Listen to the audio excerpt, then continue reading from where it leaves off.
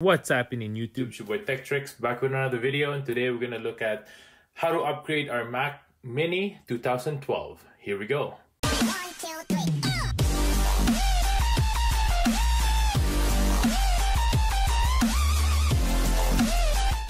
First things first, make sure to hit that subscribe button below, hit that notification bell so you can be notified of the next videos to come of tips and tricks on your Android and your iPhone, and also a bunch of upgrades for your Mac Mini.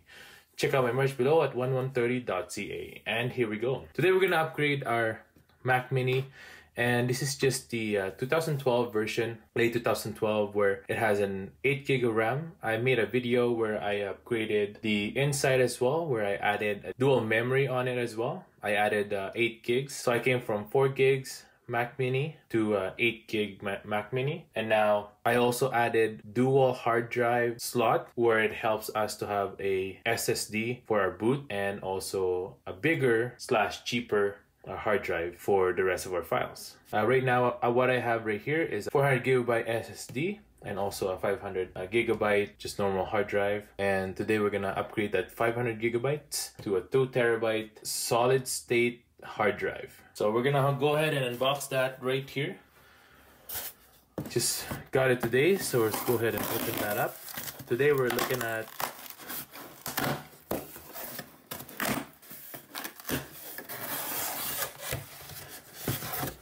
put that away.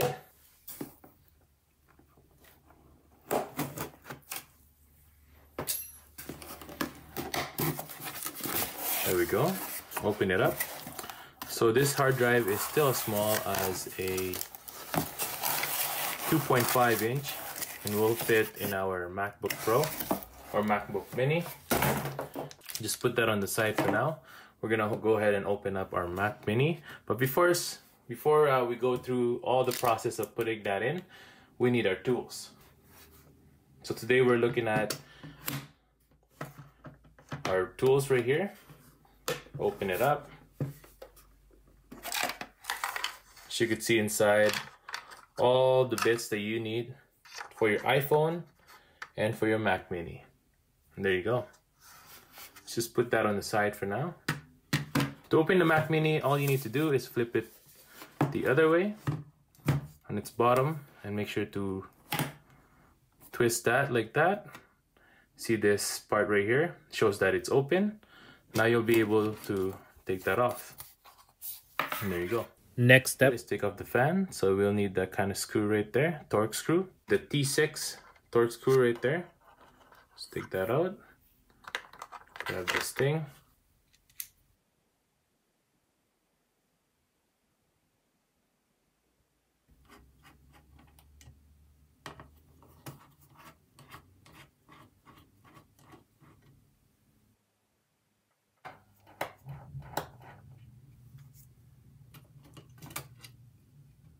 we need to take that connection off. You can just go ahead and pull up on it and it'll just come off pretty easy. Let's put that on the side for now. All we're doing here now is just taking off screws by screws so that we'll be able to pull out the logic board.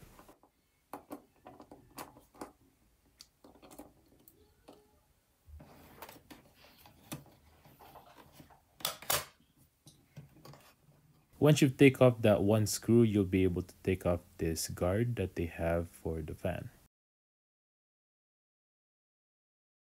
Now we need to take off those screws right there, which is going to be the T8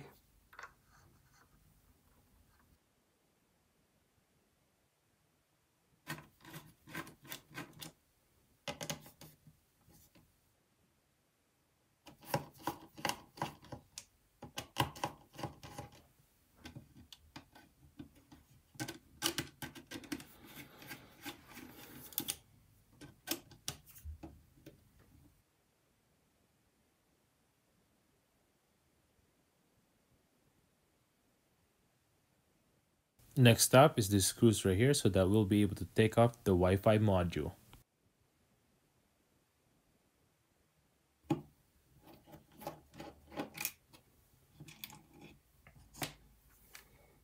Once you are done, you'll be able to just pull it out. Uh, make sure to pull it upwards. Be careful with this. Make sure to not pull it all the way. because the Wi-Fi module is still connected, what you need to do is just pull it on the side. The Wi-Fi off right there.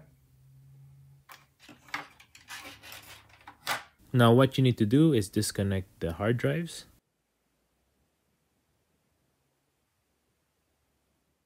Once you've disconnected the hard drives, the next ribbon that you want to take out is this one.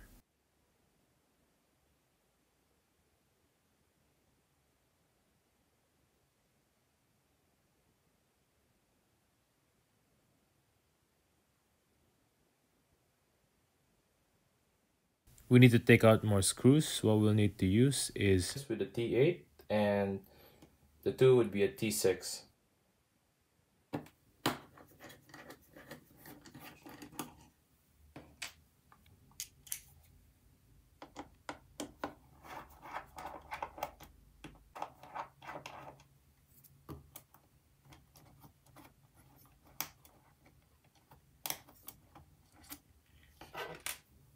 Next step, what we need to do is push out the logic board out from the back.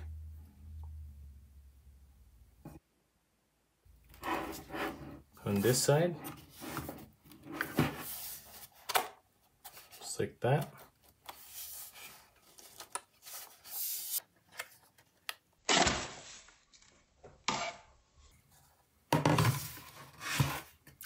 There you go. Now that the logic board is off, Let's put that on the side. To disconnect that first. It's the only thing that's holding it back. That's why I wasn't able to do it. Take a look at the hard drives. This is the hard drive that we need to replace. This is the one what we're uh, keeping in there for 80 gigs SSD. So let's go ahead and unwrap this.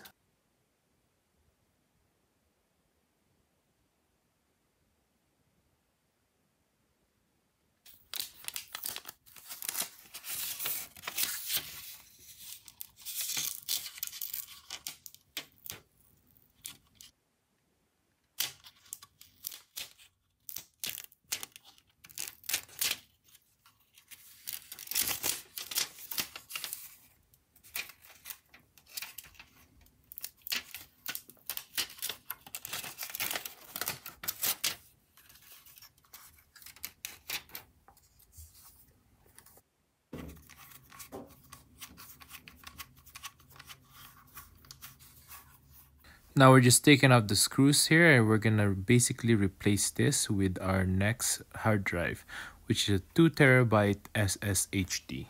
This is our new hard drive right here. Let's go ahead and unwrap this.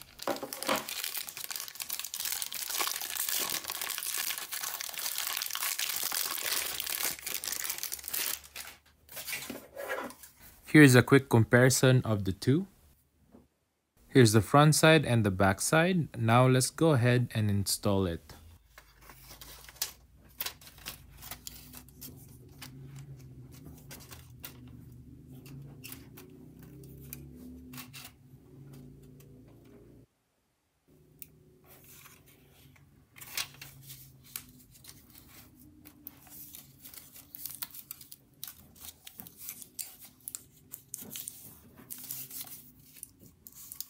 Make sure to install it the way you found it on the other drive, making sure that all the stickers and the sides are all stuck together as well.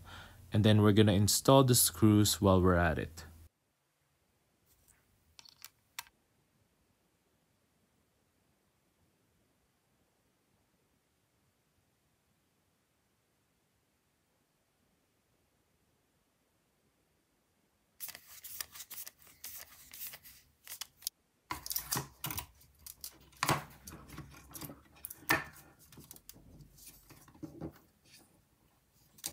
Once you've done that, you'll be able to just reverse the video and do the exact same thing as how you take it out.